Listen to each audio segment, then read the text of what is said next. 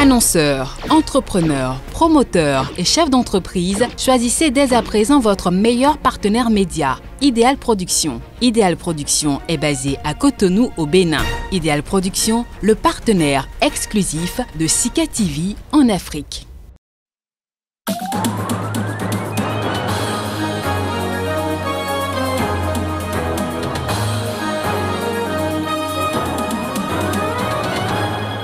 Au Congo-Brazzaville, l'opposant Guy Brice Parfait Kolila n'a pu se déplacer ce dimanche pour voter dans le cadre de la présidentielle.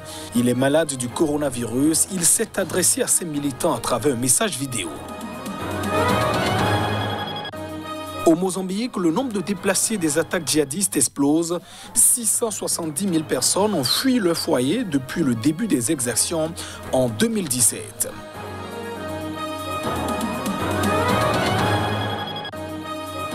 Et puis, cette démonstration de force du parti d'Estourien libre en Tunisie, ces militants étaient dans les rues ce week-end. Ils accusent le parti Enada d'être l'émanation des frères musulmans.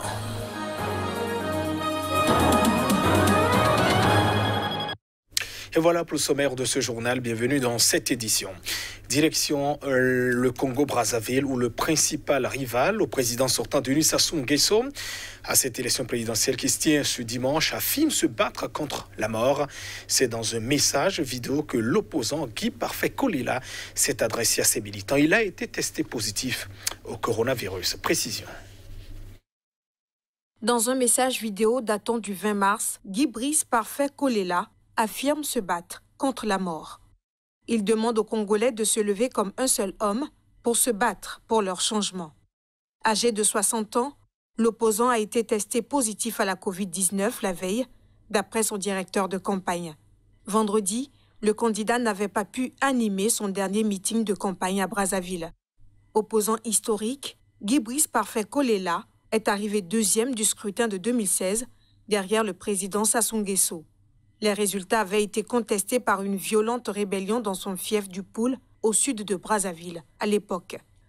Kolela est apparu cette année comme le seul vrai rival du président sortant, qui, à 77 ans, cumule 36 années au pouvoir. Ses adversaires et la société civile ont déjà mis en cause la transparence du scrutin, même si la campagne s'est déroulée dans le calme. Il faut dire que l'accès à Internet et aux réseaux sociaux était coupé depuis plusieurs heures dimanche.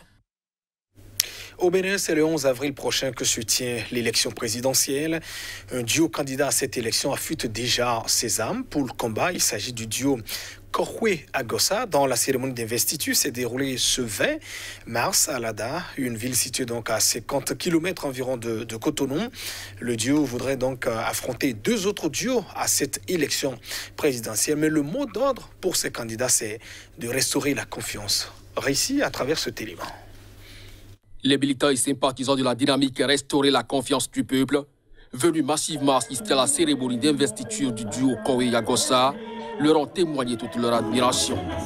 Gonflés à bloc pour exprimer à l'unisson leur soutien à leur candidat, les militants de la vague orange ont donné un spectacle des plus festifs dans la cité d'Adjaouton à travers des slogans de ralliement, chants et danses. Les porte-paroles des étudiants et des femmes ont fait montre d'un engagement sans faille, au même titre que le président du comité d'organisation et du directeur de campagne. Sous la bannière de restaurer la confiance, les deux colistiers ont présenté à cette occasion leur vision et leur combat pour la délivrance du peuple béninois du jour de la rupture dans un élan pacifique à travers les unes le 11 avril prochain. Notre pays est indivisible. Nous avons cette capacité de nous mettre ensemble, de faire de notre nation une grande nation. Nous sommes un grand pays. Nous l'avons démontré à travers nos capacités de réconciliation, nos capacités de dialogue. Nous devons continuer à le faire. Et c'est ça la base de notre engagement. La réconciliation est aussi nécessaire après de graves crises de confiance comme celle que nous vivons actuellement dans le pays. La physionomie du pays aujourd'hui se résume en une partie très minoritaire qui clame haut et fort que tout va pour le mieux. Alors que la majorité silencieuse souffre depuis cinq ans. Le moment solennel de cette cérémonie d'investiture aura été celui de la remise du drapeau de la confiance au duo. Preuve que le duo de candidats Ireria Gossa et Corentin Kowe sont décidés à faire plier la rupture. Quelques 200 000 personnes ont été tuées, puis 40 000 autres déplacées par le groupe armé les ADF dans le nord-est de la République démocratique du Congo cette année. C'est donc l'alerte donnée par l'Organisation des Nations Unies. L'ONU, justement, les Nations Unies se disent inquiètes face à la hausse alarmante du nombre d'attaques. Depuis janvier 2021, les attaques attribuées au groupe armé Forces démocratiques alliées ADF en République démocratique du Congo ont déjà causé la mort de près de 200 personnes en ont blessé des dizaines d'autres et ont déplacé environ 40 000 personnes au sein du territoire de Beni dans la province du Nord Kivu ainsi que dans des villages voisins au sein de la province de Lituri, a déclaré un porte-parole du HCR lors d'un point de presse à Genève. En moins de trois mois, le groupe armé ADF aurait mené des attaques contre 25 villages, incendié des dizaines de maisons et kidnappé plus de 110 personnes. Ces chiffres s'ajoutent aux 465 Congolais massacrés lors d'attaques attribuées au groupe armé ADF en 2020. L'agence de l'ONU pour les réfugiés met en garde face à cette hausse alarmante du nombre d'attaques menées par les ADF dans le nord-est de la RDC. Selon le HCR, des personnes déplacées en mars sont trouvées abri dans les villes d'Oisha, de Beni et de Boutembo dans le territoire de Beni.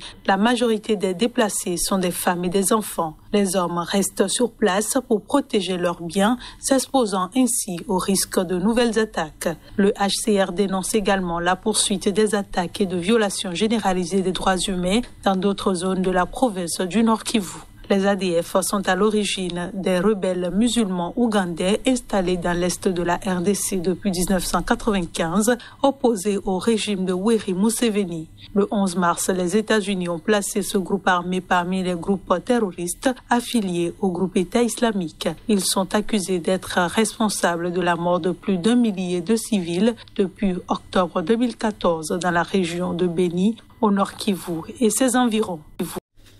Et toujours en RDC, le président congolais Félix Tshisekedi a décrété trois jours de deuil national dans le pays pour saluer la mémoire du président tanzanien John Magufuli. Ce dernier est décédé mercredi dernier officiellement d'un problème cardiaque.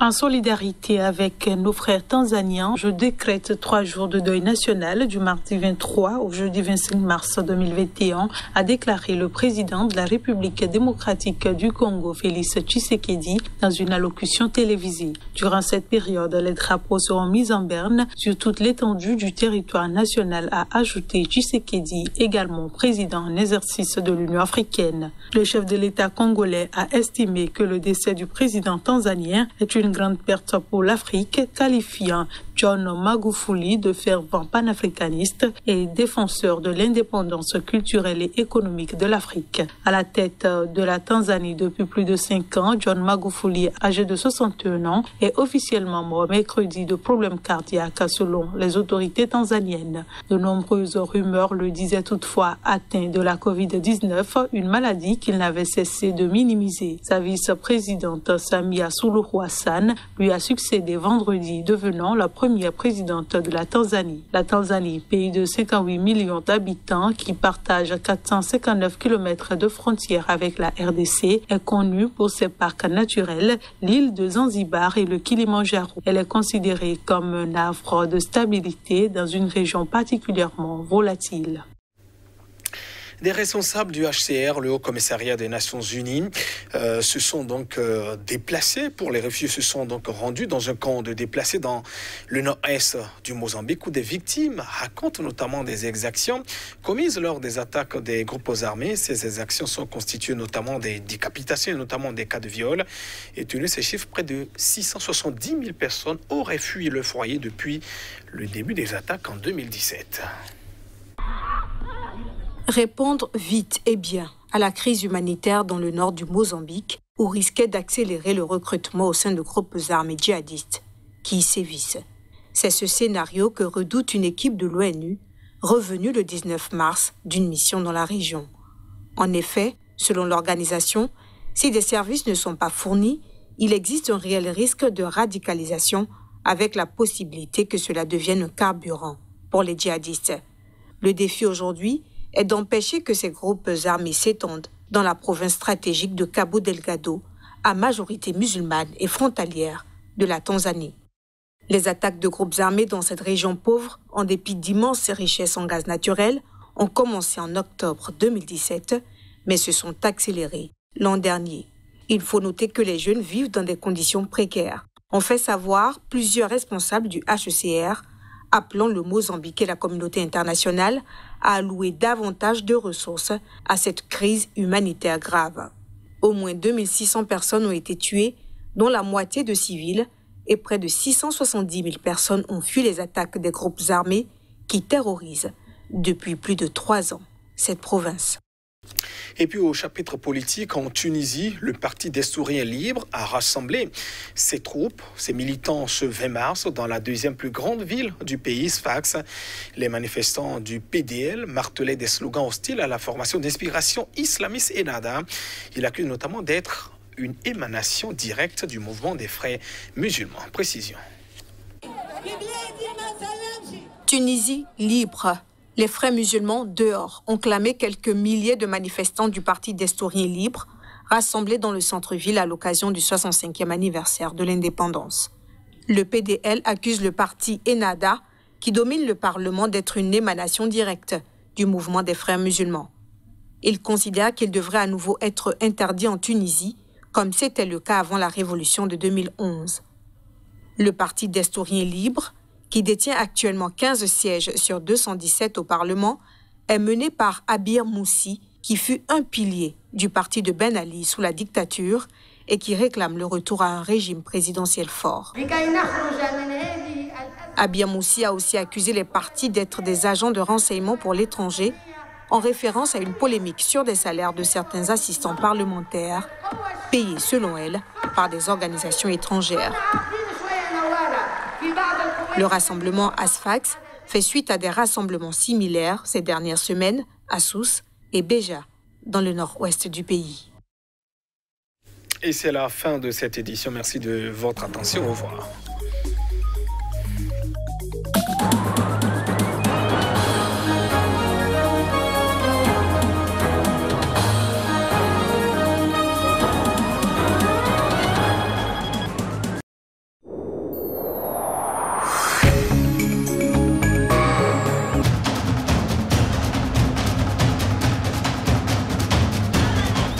Restez informés à chaque instant sur SICA.